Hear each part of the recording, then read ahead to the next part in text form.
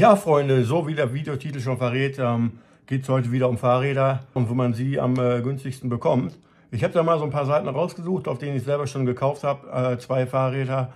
Dort kann man gebrauchte Fahrräder kaufen, dort kann man aber auch neue Fahrräder direkt vom Händler kaufen. Ist so ein bisschen Geheimtipp. Der eine oder andere wird sie schon kennen, aber es gibt halt viele Leute, die zuschauen und sich denken, ja komm, hier neues Jahr, neue Vorsätze, ich kaufe mir ein Fahrrad und fahre mal ein paar Kilometer. Muss aber jetzt nicht unbedingt ein neues Fahrrad sein. Ich zeige euch gleich die Seiten mal. Kurzes Vorwort.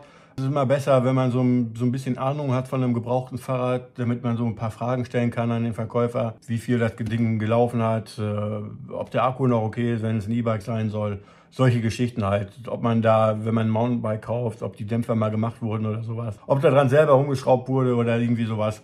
Ähm, aber darauf gehe ich gleich weiter ein.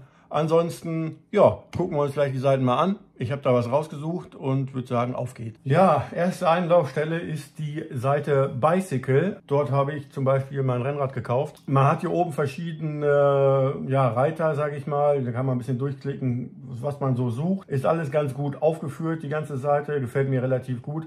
Dann gibt's hier die Hot Deals. Dort sind dann halt richtig, richtig gute Angebote drinne. Rennräder en masse. Also hier kannst du dich wirklich austoben und es ist wirklich für jeden Geldbeutel was dabei. Klicken wir mal einfach auf das Track hier. Also man sieht hier zum einen erstmal, ja, was für Modell ist, von welchem Baujahr für welche Körpergröße. Dann hat man verschiedene Kaufoptionen, die man hier machen kann und darauf gehe ich jetzt direkt ein. Erstmal Versand an deine Adresse ist schon mal ganz wichtig und du hast hier verschiedene, du kannst hier verschiedene Services auswählen. Also das Bike wird von einem User verkauft und geht Entweder, wenn ihr sagt, nee, ich möchte keinen Service dazu, geht dieses Bike direkt zu euch. Also der User bekommt von Bicycle einen Karton zugeschickt, packt das Fahrrad da rein, Adresse drauf und das Bike geht direkt zu euch und er bekommt erst dann das Geld, wenn ihr das hier bestätigt habt, dass ihr das Bike bekommen habt. Ist eine ganz feine Sache, finde ich ganz gut. Ansonsten könnt ihr hier verschiedene Pakete noch dazu buchen. Dann geht das Bike erst nach Bicycle hin und dort wird es von einem Meister äh, komplett überprüft. Ne?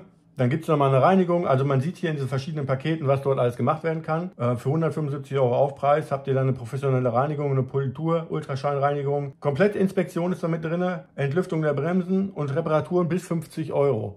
Bedeutet, ist hier, was weiß ich, der Tretlager kaputt oder es läuft nicht mehr rund, sagen die, okay, weißt du was, das bauen wir den Neues ein dann seid ihr auf der sicheren Seite. Dann habt ihr hier diesen Carbon-Check, da habt ihr Reparaturen bis 85 Euro, schon mal eine geile Sache. Ultraschallprüfung der Carbonteile, ganz wichtig, falls da mal irgendwie ein Sturz gewesen sein sollte und der Verkäufer verschweigt euch das. Und ihr habt ein Jahr zusätzliche Garantie. Also für 250 Euro kann man das ruhig mal machen, vor allen Dingen bei einem Bike von 3000 Euro. Oder ihr sagt, ich gehe hier mit dem letzten Paket, ich gehe komplett auf Nummer sicher, dann habe ich hier zwei Jahre Garantie und die, euch werden direkt die ganzen Verschleißteile werden halt ausgetauscht ausgetauscht. Wie gesagt, ich habe damals hier mein, mein äh, Rennrad gekauft. Das war direkt vom Händler. Ich habe mich mit dem in Kontakt gesetzt. Die haben über den Preis verhandelt.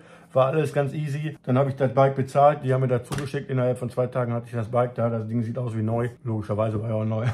ähm, aber wirklich hundertprozentig funktioniert einwandfrei. Beste Erfahrung mit gesammelt. Ich weiß nicht, Leute, wie seht ihr das? Habt ihr da schon mal Erfahrung mit gesammelt mit der Seite? Könnt ihr was dazu sagen? Schreibt es mir gerne in die Kommentare. Dann können wir uns darüber unterhalten. Würde mich mega freuen. Genau, habt ihr hier einen Käuferschutz und eine äh, Lieferung mit welchem ja, Versanddienstleister das geliefert wird. Ihr könnt dann nochmal so eine separate Beitragsversicherung hier abschließen gegen Diebstahl, Vandalismus, Unfallschäden und äh, kann man machen, wird natürlich dann den Preis zugerechnet. Verschiedene Bezahlmethoden, ist klar. Alles weitere ist unten erklärt. Ihr habt eine Hilfe, ihr habt ein Rückgaberecht, ihr habt eine Finanzierung bzw. Leasing, also Bike Leasing geht hier auch. Eine Finanzierung über Klarna ist das, glaube ich, oder äh, PayPal, Ratenzahlung geht auch. Ihr könnt das Bike natürlich auch sagen, boah, weißt du was, nee, ich will jetzt hier nicht so viel Geld ausgeben für ein Pipapo. Ich will das Bike selber beim Verkäufer abholen. Könnt ihr auch machen, klickt ihr hier unten drauf, zack. Und dann könnt ihr das Bike direkt dort äh, beim Verkäufer begutachten und abholen. Und wenn ihr sagt, boah, das sagt mir gar nicht zu, das Fahrrad, dann müsst ihr das nicht kaufen, ganz einfach. Genau, dann habt ihr hier diese Kontakte, Kontaktadresse von dem Verkäufer, könnt ihr aufs Profil gehen, eine Frage stellen, äh, ja, eine Leasinganfrage starten direkt. Wie gesagt, dann Lieferung, Garantie, Rücksendung, könnt ihr euch erstmal durchlesen. Ihr könnt auch direkt unter das Bike eine Frage stellen. Alles ganz nice gemacht. Was ich ganz cool finde, ist, man kann hier ein Gegenangebot stellen. Äh, einfach hier drauf geklickt. So, dann sagst du, weißt du was? Nee, 2900 Euro ist mir zu viel. Ich bezahle 2500 und äh, dann kannst du das Angebot senden. Er kann es annehmen, kann aber auch sagen, boah, nee, 2,5 ist mir zu wenig. Wir machen, weiß ich nicht, treffen uns in der Mitte, 2,7 und dann hat man den Deal. Ne? Eine astreine Sache. Es gibt verschiedene, verschiedene Bikes. Ne? Es gibt so, ja, refurbished. Bedeutet halt vom Händler wieder auf Vordermann gebracht. Man kann die Bikes auch sortieren. Wie gesagt, hier unten haben wir jetzt diesen Händler. Ne? Man kann aber auch sagen, boah, weißt du was, ich will ein Mountainbike haben. Habt da Bock drauf? Man kann hier verschiedene Attribute auswählen, um sich das perfekte Bike dann äh, anzeigen zu lassen. Und hier Verkäufer, wenn du sagst, ja, es wäre schon geil, wenn es vom Händler kommt, dann weiß ich, da bin ich auf der sicheren Seite. Ich habe einen Ansprechpartner, wenn ich das Bike habe. Ne? Dann klickst du auf Händler und dann werden dir die ganzen Händlerbikes angezeigt. Und was ganz geil ist, das Bike wurde für 7000 Euro eingestellt und ist mittlerweile bei 2500 Euro, weil der Händler das Lager voll hat und will es einfach loswerden. Und 2500 Euro für ein S-Work Specialized, also das ist schon, das ist schon eine Ansage. Ne? Und wenn man vielleicht ein bisschen Geschick hat, dann kann man den Preis noch mal ein bisschen drücken. Ne? Es gibt hier mehrere Informationen. Dort wird dann angezeigt, wie das Bike heißt, der Zustand, wie viel das gefahren wurde, weil es ist ja ein Gebrauchtbike. Ne? Es gibt vorherige Besitzer, ob eine Rechnung vorhanden ist. Für wen das wichtig ist, klar. Dann hast du die verschiedenen Komponenten, ne? alles, was man so braucht. Ja, und dass das Bike halt 11 Kilo wiegt, ja, wunderbar. Kann man sagen, jo, habe ich Interesse dran, kaufe ich mir oder sage ich, nee, lass mal, lass mal sein. Ist jetzt nicht so ganz so mein. Das ist die Seite Bicycle. Ich habe es jetzt mal grob runtergebrochen. Ich hoffe, es war einigermaßen verständlich.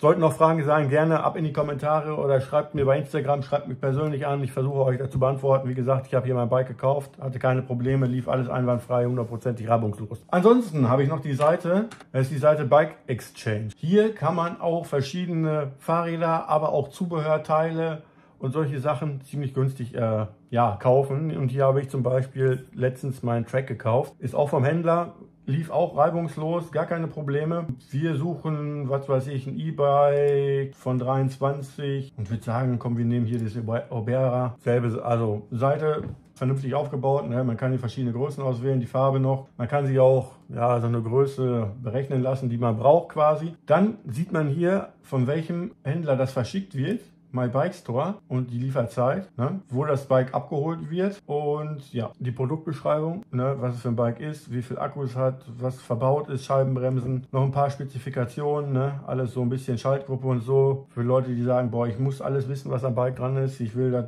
Maximalste für mein Geld haben, könnt ihr hier vorbeigucken, guckt euch das alles an. Und dann äh, könnt ihr das Bike auch leasen, über verschiedene Leasingnehmer wieder, wie Bike Leasing oder ich weiß nicht, wie die ganzen heißen, da Bike Leasing, Jobrad und so. Da könnt ihr euch das Bike dann holen. Genau, Leasing in Frage stellen. Oder macht ihr das einfach in euren Warenkorb, dann könnt ihr da zur Kasse gehen. Hier ist ein bisschen schwieriger mit Preise verhandeln. Ähm, ihr könnt vielleicht versuchen, den Händler anzuschreiben über, ja, über deren E-Mail-Adresse oder ihr gebt diesen Namen, My Bike Shop, was das jetzt war, bei Google ein und versucht den da anzuschreiben, du würdest gerne dies und dieses Fahrrad kaufen über Bike Exchange, ob er da was am Preis machen kann. Ähm, meldet euch ganz einfach an.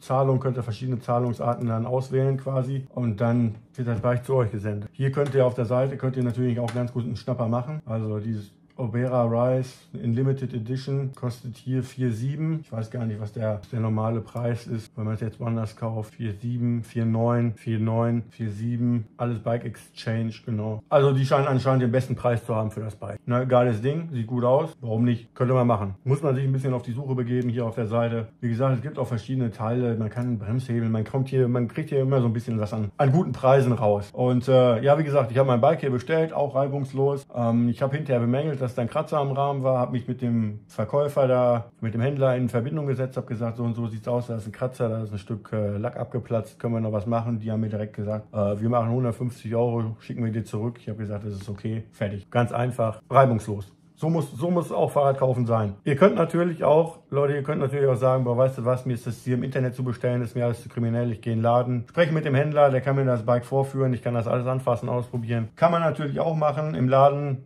nach einem Rabatt fragen. Die meisten Händler sagen dann, ja, so und so viel Rabatt können wir geben auf dem Bike. Das ist natürlich die einfachste Lösung, wenn man da jemanden vor Ort hat, auf den man zurückgreifen kann. Vor allen Dingen kannst du dann auch einfach dahin fahren mit dem Fahrrad, wenn was dran ist und sagen, hier, dies und das funktioniert nicht richtig, kannst du da mal gucken. Ne?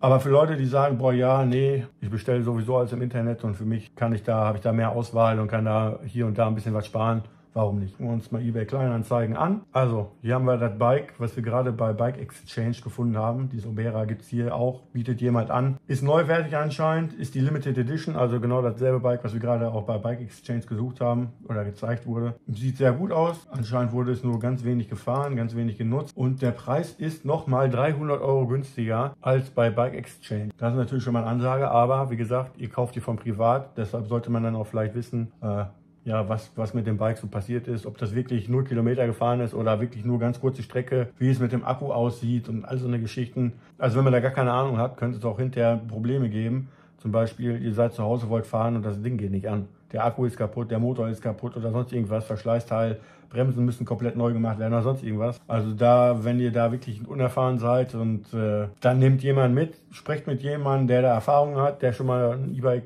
gekauft hat oder sonst irgendwas oder sich mit Fahrrädern auskennt.